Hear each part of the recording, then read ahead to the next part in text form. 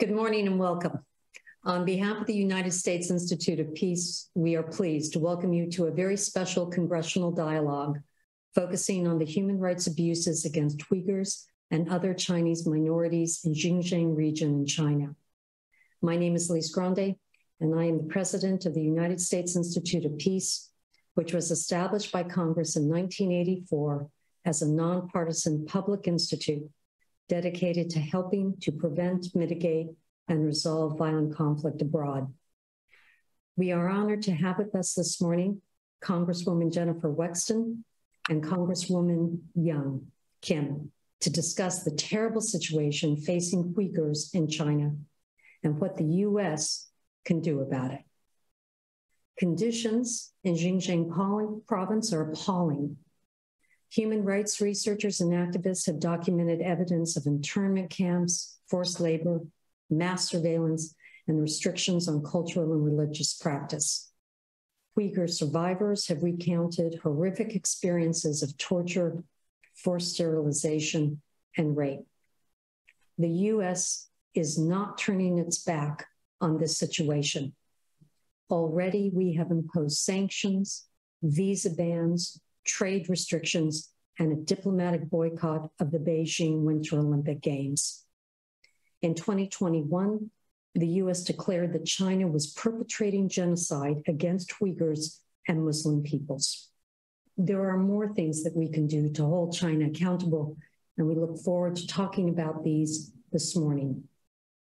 Before starting our dialogue, we're pleased to introduce Congresswoman Jennifer Wexton, a member of the Congressional Executive Commission on China, and to introduce Congresswoman Young Kim, the vice ranking member of the House Foreign Affairs Subcommittee on Asia, the Pacific, Central Asia, and Nonproliferation.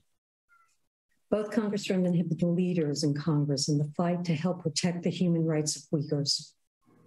Congresswoman Wexton co introduced the Uyghur Forced Labor Prevention Act, which became law in December 2021 and just went into effect last month. Congresswoman Kim co introduced the Uyghur Policy Act last July. Congresswoman Wexton represents Virginia's 10th district and was elected to the U.S. House of Representatives in 2018.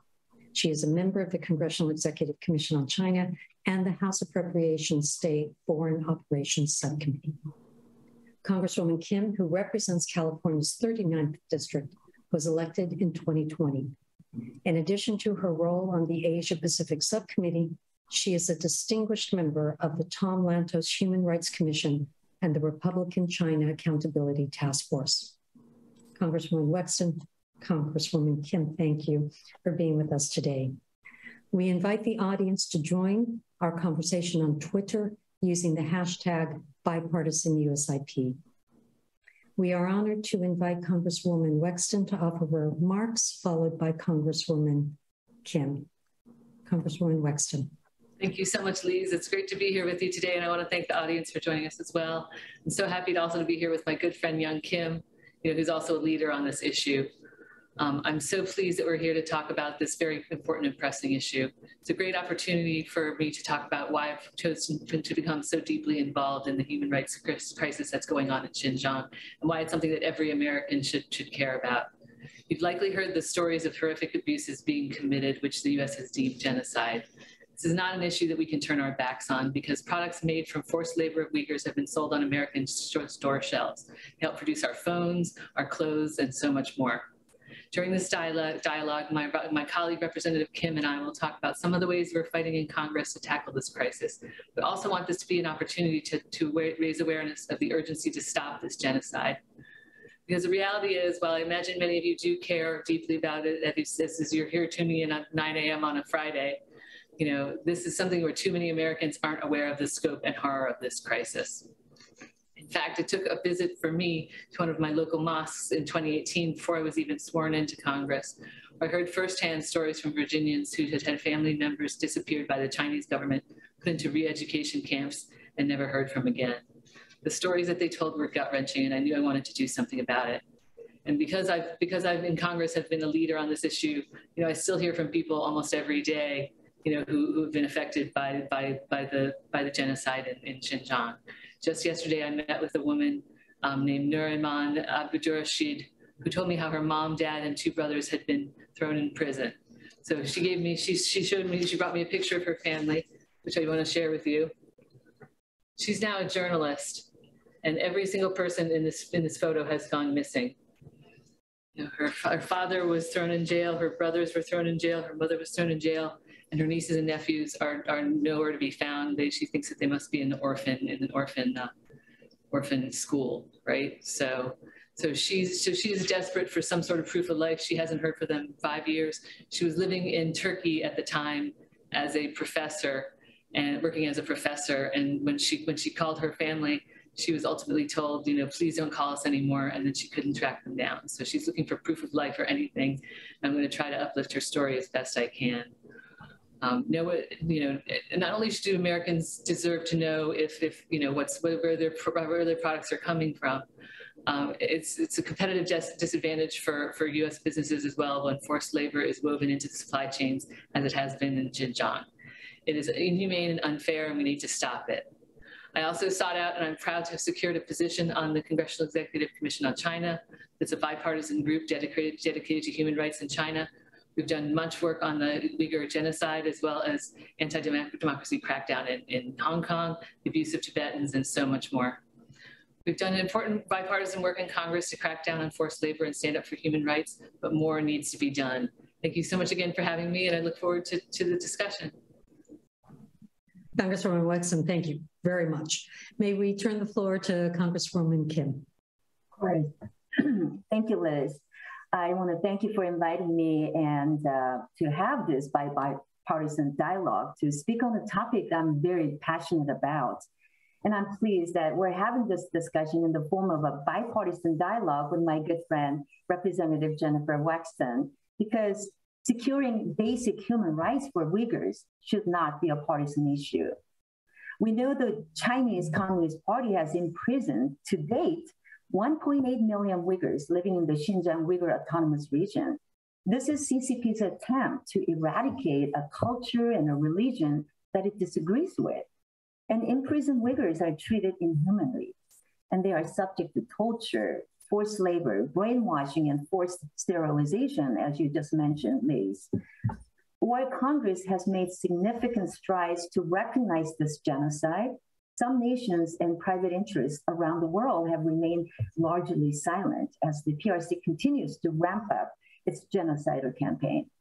In fact, many US companies have continued to ignore basic corporate responsibility and morality in favor of profit and have not done nearly enough to respond to concerns over the PRC's human rights violations.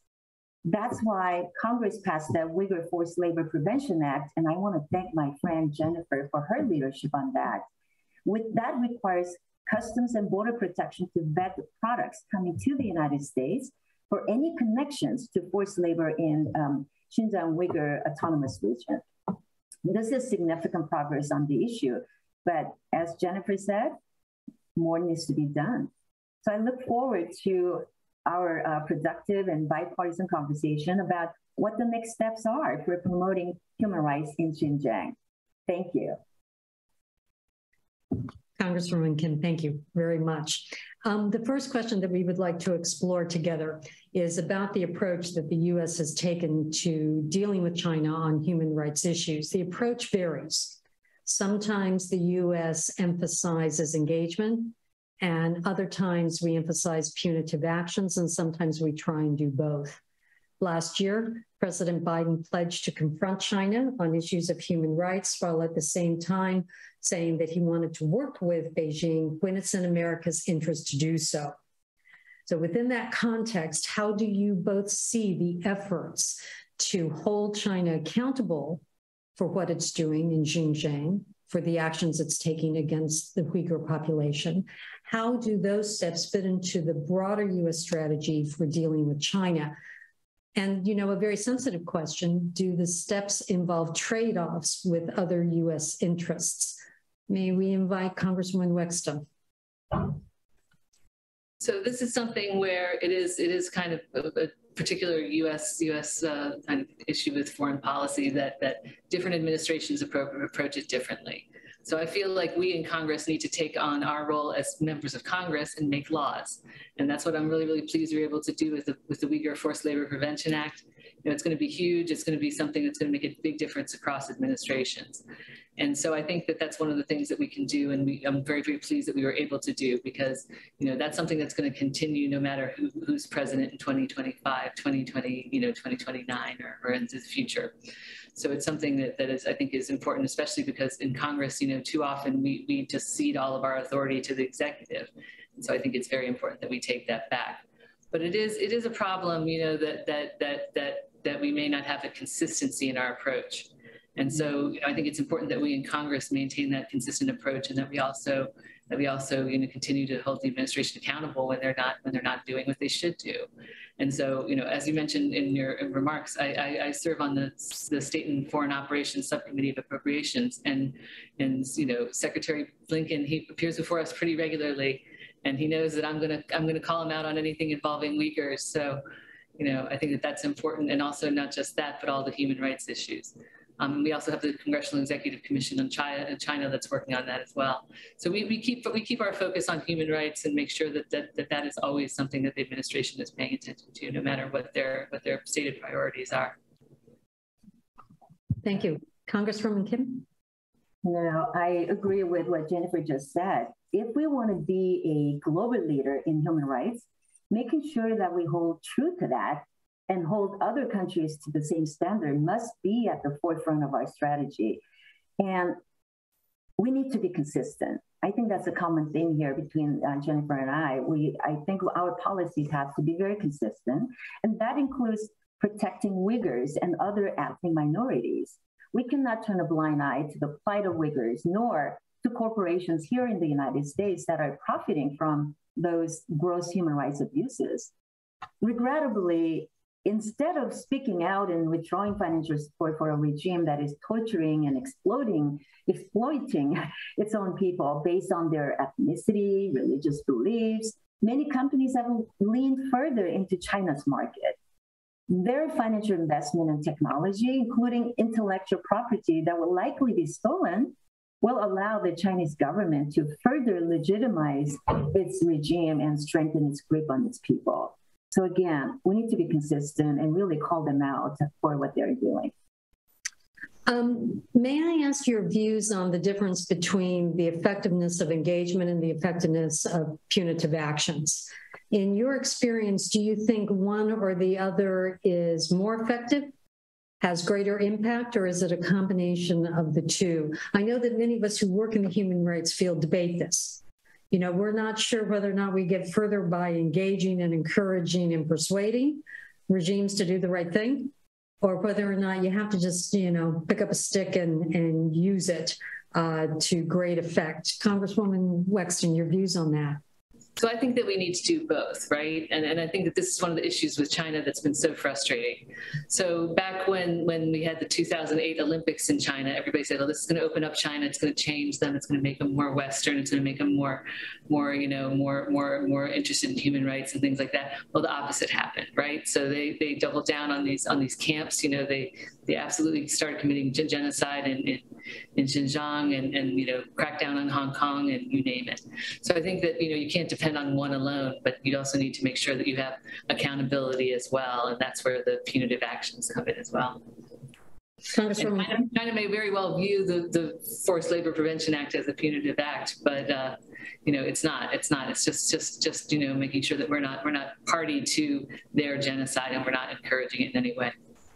Sure. Right amount of uh, carrots and sticks type of policies, I think it's effective, and that's something that we try to do with other, uh, you know, rogue regime like North Korea too. We always talk about, you know, how much of a stick uh, do we use and how much of carrots do we provide. Uh, so, but again, you know, when they are committing genocide such as this, we need to really hold them accountable uh, bring enough of a punitive measures, but at the same time, we want to continue that dialogue in order to make this more effective. So again, right amount of doses of both uh, carrots and sticks approach, I think it's going to be effective.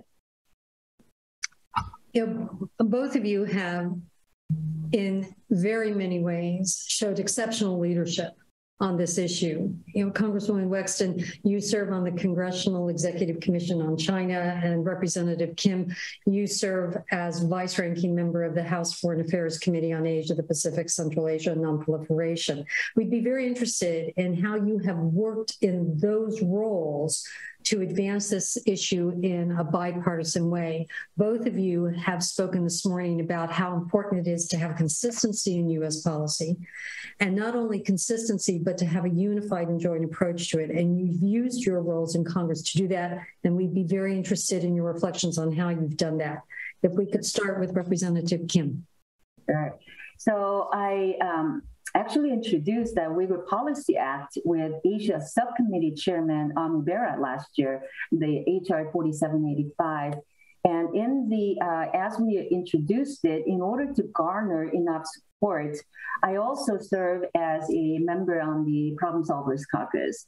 This is where we have equal number of Republicans and Democrats serving together. Each of the members have an opportunity to bring the bills that we introduce to get our uh, problem solvers caucus to agree. And then when 75% of us uh, support it, then we get an endorsement from the caucus and we bring it. It's easier for us to then take it to our respective communities of jurisdiction. So, with that, I was able to garner uh, support from the early on. It's something like this is really important to get that bipartisanship. So this bill had over 70 co-sponsors, including Congresswoman Wexton. And this will create a comprehensive multilateral strategy with concrete steps to raise international awareness of the persecution of Uyghurs and empower that State Department to effectively respond to human rights challenges in Xinjiang and push back on the People's Republic of China's efforts to silence Uyghur voices. So, with our bipartisan efforts and getting as many members possible from all different caucuses, it passed out of the Foreign Affairs Committee in September. So, I'm really hoping it will come to the floor vote soon. Congresswoman Wexton. So I serve on the Congressional Executive Commission on China, and we are completely a bipartisan entity. You know, we have we have an equal number of Democrats and Republicans. It is it is a bipartisan, bicameral entity. And the one disappointment I have is that we, we do not yet have an, an executive member. Um, you know, it's something that, that, the previous administration did not appoint anybody, and this administration has not yet appointed anybody. And I have I've called I have called upon uh, Secretary Blinken to please make sure that he can get somebody on there because I think that that would really help with that dialogue dialogue and that consistency. We don't just focus on Uyghurs. I mean, that's a big it's a big area of our focus because of the because of, of the genocide that's going on there. But it's not just Xinjiang; it's also Hong Kong, Tibet, and also the Olympics. You know, we drew we, brought a lot of attention to the Olympics that were going to be happening. Um, you know, Peng Shuai, Peng, Peng Shuai, who went missing from the from the uh, from the U.S. Tennis Association, um, Women's Tennis Association, and so you know, drawing attention to these things, and also you know, calling out the sponsors of the Olympics about their about what they're going to do. You know, sitting down with NBC Universal and asking them, you know, are you going to have counter programming about, you know, rather than just have be be an arm of propaganda for the for the People's Republic of China, um, and and the and the people's, you know, and, and, the Communist Party. And so, you know, I think things like that are really important and something that I'm going to certainly continue to do while I'm in Congress. I think it's very striking that, you know, if the United States is unified on the key elements of our national security and foreign policies, everyone notices. And likewise, if we're not unified on them, everyone notices that as well. Mm-hmm. You know, the likelihood of our policies um, you know, having impact and, and other countries join us in them increases when we're unified and arguably when we're not. And countries notice that it's harder for us to accomplish the goals that mean the most to us. And both of you have highlighted that in important ways. I'd like to, to pick up on a theme that came up in, in some of your introductory comments about the importance of having um, all parts of uh, the US polity support these kinds of policies, including the private sector. And we know that Congress has taken very significant bipartisan action to crack down on the abuses against Uyghurs and other ethnic minorities in China. For example, by passing the Forced Labor Prevention Act that went into effect in June that you've both spoken about. Mm-hmm. But if you could help us to understand what this legislation aims to do and what it means for American consumers and companies and the responsibilities in particular that American companies have to uphold this. If we could start first with Representative Kim. Okay. Um, that legislation is a landmark legislation and it requires customs and border protections to uh, determine by clear and convincing evidence that goods from manufacturing facilities in the Xinjiang Uyghur Autonomous Region were not produced wholly or in part by forced labor and required the Forced Labor Enforcement Task Force to develop an enforcement strategy to effectively address forced labor. Um, as discussed many times, you know, a lot of uh, U.S. companies have ignored those basic corporate responsibility to um, favor the profit margins. And they have not done enough to respond to reports of forced labor in their supply chains. And some companies have gone even further to sponsor the 2022 Winter Olympics in Beijing. That legislation requires companies that have refused to call out this genocide and ignore basic corporate responsibility to clean up, clean up your uh, you know supply chains. So we've heard that the difficulty of that legislation will be companies having to re-examine all of their supply chains. But let me tell you, it's worth pointing out that companies have long been aware of that human rights abuse is happening in the Xinjiang area. Mm-hmm. And so it is time for them to move their supply chains out of Xinjiang Uyghur Autonomous Region, regardless of how difficult they claim it to be. So live up to your corporate responsibility. Congresswoman Wexton. Yeah, I would just add that that you know the the Uyghur Forced Labor Prevention Act is, is absolutely a huge, huge piece of legislation. It is a big, big bipartisan win.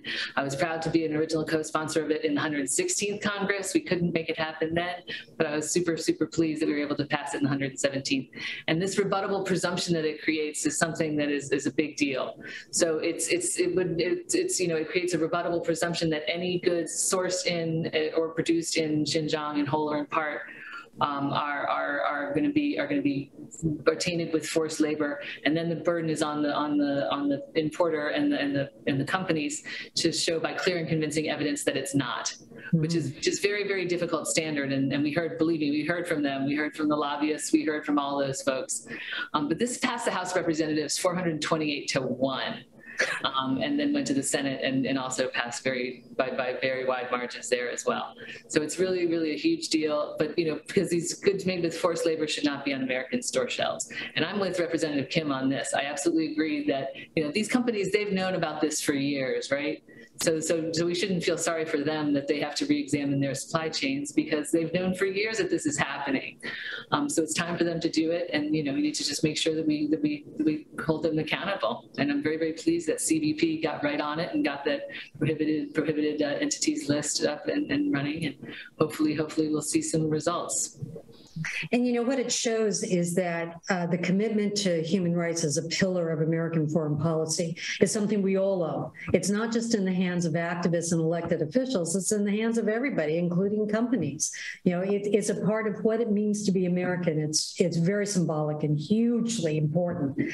Um, May we ask, are there companies that you've seen that have changed their behavior in ways that met your expectations and, and you know, fulfilled what you hoped this Labor Act would do?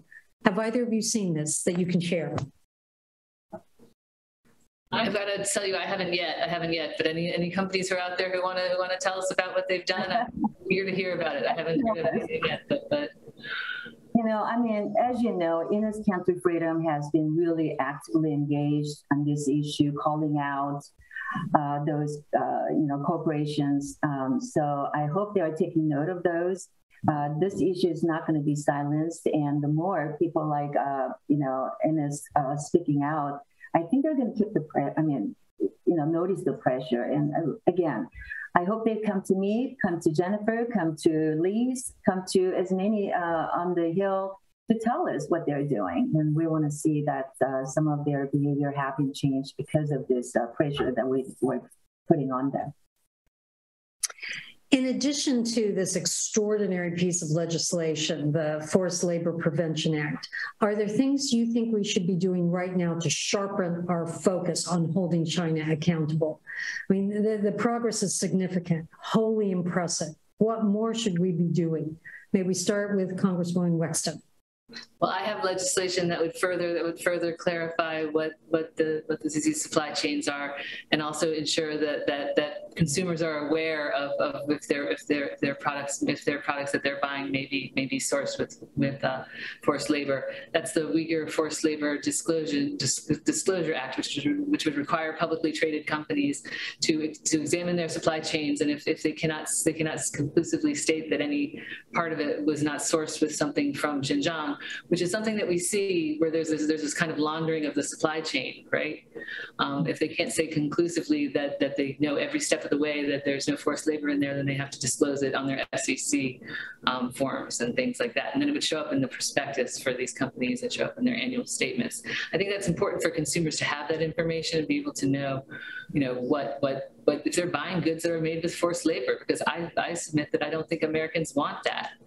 Um, so that's a very important thing that we can do. And also, I think kind of working on some other issues that we, we see where where, where forced labor can still find its way into, into the supply chains through things like the mutual pairing assistance program, where people are kind of taken from Xinjiang and shipped out all around the country um, to other places where they're forced to work in other factories. And then also things like things like the, this laundering of the supply chain, where they'll, they'll have cotton that was picked in, in Xinjiang and, and harvested there, but then it will go to, for example, Indonesia and be spun into cloth, where it will then go to, to say, Vietnam or, or, or, or maybe Bangladesh and be and be sewn into into garments. And so by that point, the, the cotton itself has been lost in the process. So that's something that we need to work on cracking down more in the future. But I think that we, you know, the Uyghur Forced Labor Forced Labor just, uh, Prevention Act is a very very good first step. Congresswoman Kim. Sure, I agree. I mean, we cannot stop with the Uyghur Forced Labor Prevention Act. So thank you, Jennifer, for continuing to work on this issue by your legislation, Uyghur Forced Disclosure Act, you know, thoroughly addressing the Uyghur genocide requires a comprehensive foreign policy approach. And it requires more dedicated attention from the Department of State as well.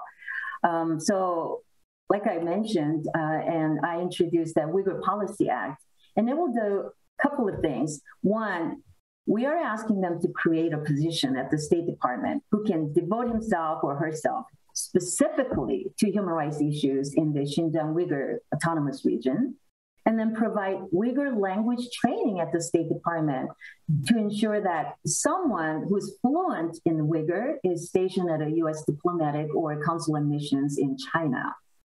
And we also need to ensure that technologies that are developed here in the United States are not falling into the hands of the CCP or being used to conduct surveillance and track Uyghurs.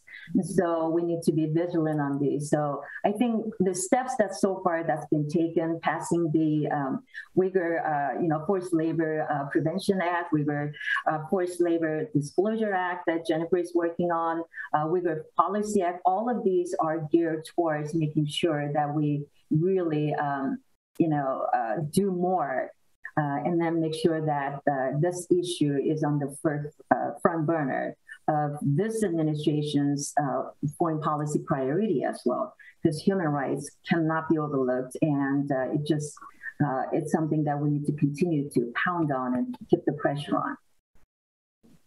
Yeah, one of the hallmarks of the, this genocide is the way that China is actively seeking to intimidate, coerce, and, and ultimately force the return of Uyghurs who are living in the diaspora through tactics of transnational repression. This is really hard to address. And we'd be very interested in your views on what, if anything, the US can do to try and mitigate those tactics, address those tactics, stop those tactics. May we start with Representative Kim? You know, the United States needs to put pressure on countries where this is happening to stop repatriating Uyghurs. And as noted, um, the CCP uses its embassies and consulates around the world to invalidate passports and strong arm countries into deporting vulnerable minorities back to China, where they disappear in the camps. This is why it's so important that there is multilateral and culturally and linguistically competent engagement from our US embassies and consulates in those countries where this is happening. It is, again, um, very heart wrenching to hear uh, the stories. And when the families who are in the United States come to us and talk about their families who are in detention, who are disappeared, they don't know whereabouts of what's happening to them, it's really heartbreaking. Congresswoman Wexton.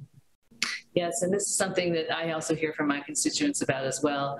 You know, for example, for example, they haven't heard from grandma in, in Xinjiang in many, many months, but they'll get a call all of a sudden, or they'll get a WeChat um, notification that somebody wants to talk to them, and then they'll they'll they'll call the number, and they'll, they'll they'll hear from somebody saying, "Do you want to talk to your mom or grandma?" And they'll say, "Yeah, we want to." So they'll set up a Zoom call or something like that, or a WeChat video call, and then they go and they say hi to her, and there's somebody from the PRC. There's some there's some Han Chinese guy sitting on the sofa next to her, and she's like, "No, no, everything's fine, everything's fine." Well, that that is entirely to intimidate intimidate the family in the U.S. and stop them from speaking out about the horrors that that, that are happening in, in their home country.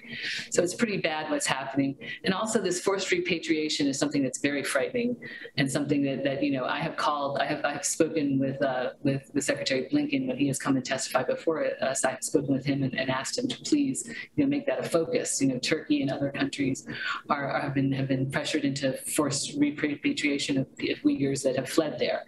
And this is, um, in fact, the woman that I met with, Ms. Uh, Ms. Abdurrashid, she had been living in Turkey and then she became very frightened because you know her family had all been disappeared and she was worried that she might be the next one to join them. And so she gave up her professorship there and, and came to the us and is now seeking asylum here because it's one of the few countries where she knows that she will be safe. Um, so that's that's something that we need to we need to definitely put pressure on these countries that are that are feeling the pressure from china.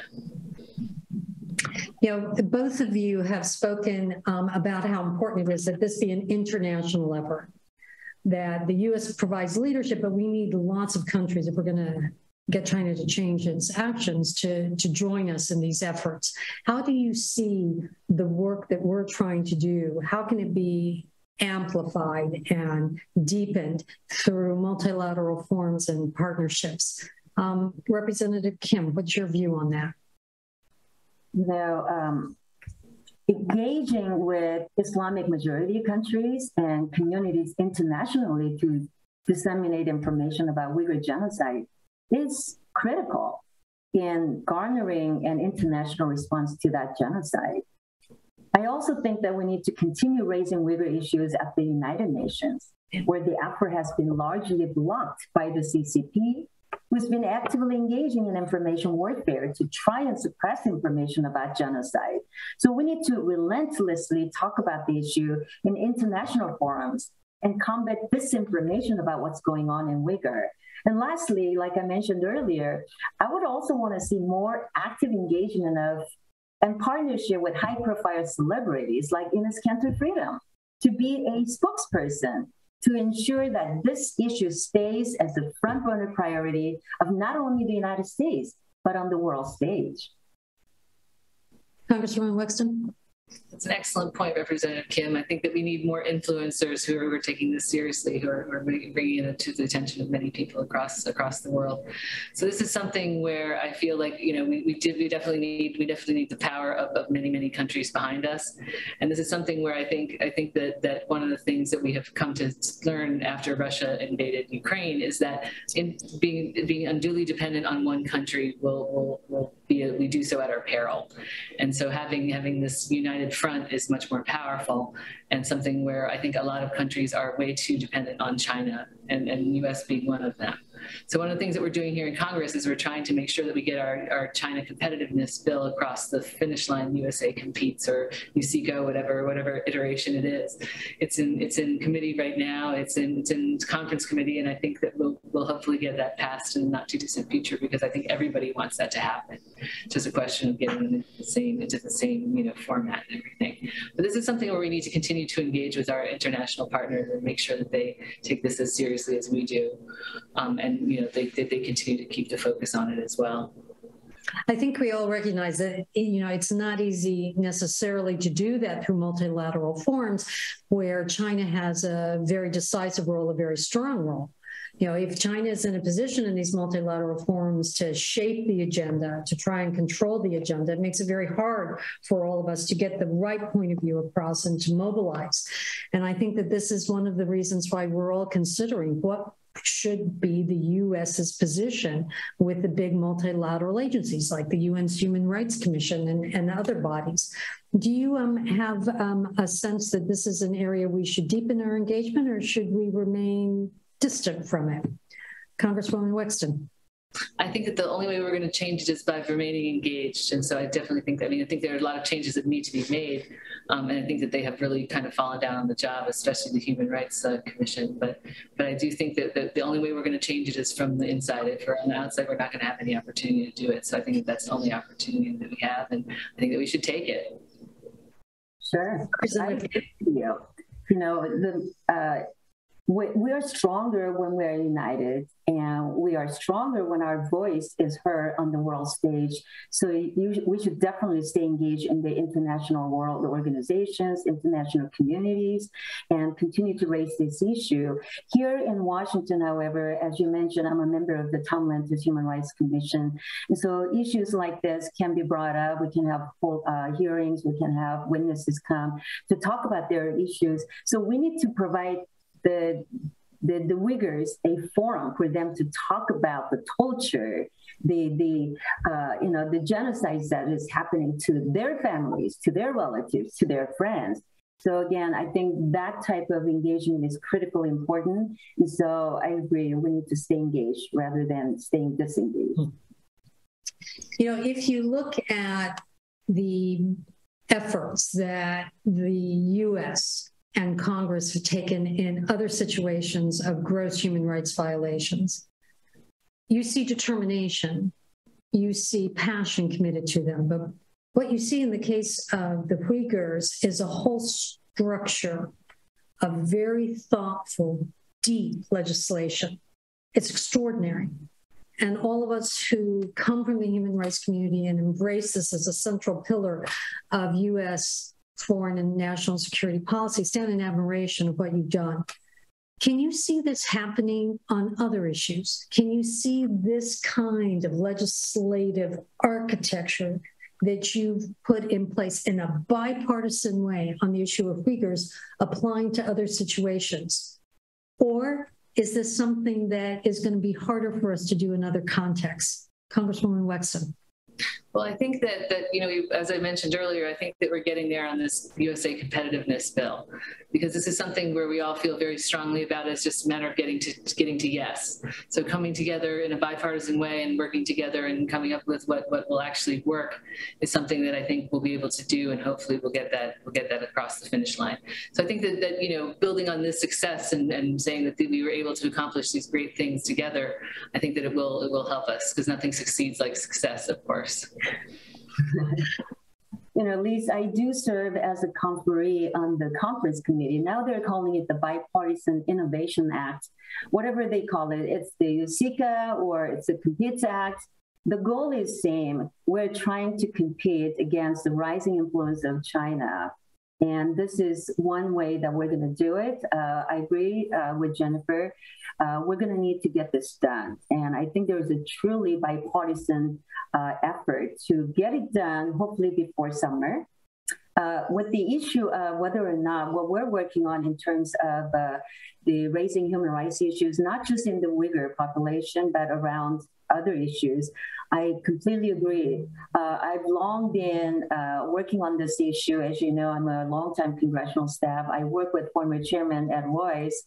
Um, so I worked on human rights issues for, especially on the North Korea issues, the Vietnam human rights issues, and at the same time, I've been made aware of these Chinese government's oppression of ethnic minorities in China against Tibetans the Uyghurs, even the Falun Gong practitioners. I mean, these are issues that it's been going on for some time.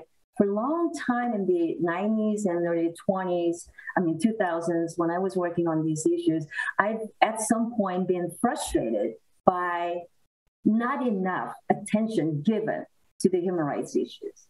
Mm-hmm. So I'm glad that now I'm in Congress as an elected member. I can use my voice together with Jen, uh, Jennifer. We are really raising these issues. So yes, we need to keep talking about it. We need to keep raising this issue and then bring it up to the front burner. And uh, you know, we're not going to stop. Yeah, bravo to both of you for your leadership. And I know it makes so many of us who believe that American foreign policy, you know, is important and you know, a symbol to the rest of the world because we focus on human rights. And you what you're showing us is that that's not just about talking about it, it's about working in every way to create legislative acts that make that happen. You know, it's, it's extraordinary. We're at the end of our dialogue, and we would like to invite both of you to share final reflections on the situation in Xinjiang, on the tragedy of the Uyghurs, and on the importance of bipartisanship in addressing those. May we offer the floor first to Representative Kim. Thank you very much for this opportunity to have this very important uh, policy dialogue. You know, I am an immigrant from South Korea, and I have family members who have witnessed firsthand the brutality of communism, and that guides my passion for global human rights issues. My mother in law, who uh, passed away now, she actually has fled North Korea crossed that 38th uh, parallel line and traveled back and forth multiple times until she was able to finally bring her rest of the family to South Korea. So this is an issue that I know I'm very passionate about. And human rights activists and journalists have sounded the alarm on especially this issue, Uyghur uh, issue, for years. And so now, as a member of Congress, I really welcome the opportunity to meet with the survivors of the camps directly in my office they share their heart wrenching and horrific stories of how the CCP is uh, treating them and then their efforts to eradicate Uyghurs. That freedom of religion is a basic human right that the CCP has denied Uyghurs. So when you hear these survivor stories and read the reports put out by the human rights watchdogs, I could not stand idly by while this genocide happens. So I'm really glad that I get to work on this with my colleagues across the aisle, like with Jennifer. So I want to thank you, Jennifer, for your role and your leadership in this issue. Like I said, human rights should not be a partisan issue. So we're going to continue to work on this in a bipartisan way. Representative Wexton. Thank you so much, Lise. And thank you, Young. It's great to, to be here and working with you on these issues. And I'm just going to tell everybody, I first got to know Lee, uh, Young when, when she came to an event in my district uh, with a Korean American group. And you would think that BTS came, right? I mean, or, or Blackpink or something, because they were so excited about her. She's such a rock star in that community. So it was really, really wonderful to be there and to bask in her reflected glory a little bit. but in any event, no, it's great working with you on these issues. And same thing for me. I mean, when I went to when I went to my mosque and, and heard those and heard those stories, it was absolutely horrifying to me, and I had no idea that it was happening. Right, and it's kind of a slow motion genocide because even though they're not building gas chambers, you know, this this it's just as pernicious what they're doing and the way that they're trying to eliminate the uh, the Uyghurs. You can see that their birth rate has absolutely plummeted, and, and it's just horrifying what they're doing. So we, we need to stop it. We're so blessed in this country to be living under free freedom and the rule of law, and not all countries are so fortunate. And so we need to make sure that we hold them account- accountable when they're not, and that we are looking out for human rights all across the globe. So I will continue to do that while I'm here in Congress. But thank you so much for for having this forum and for drawing attention to this very very important issue. On behalf of the U.S. Institute of Peace, please allow us to express our deep gratitude to Congresswoman Wexton, to Congresswoman Kim for today's discussion and allow us to salute the exceptional leadership that you've shown on an issue that goes right to the heart of what it means to have principled American foreign policy. Bravo. And thank you all for joining us today. Thank you for having us, Lee. Thank you.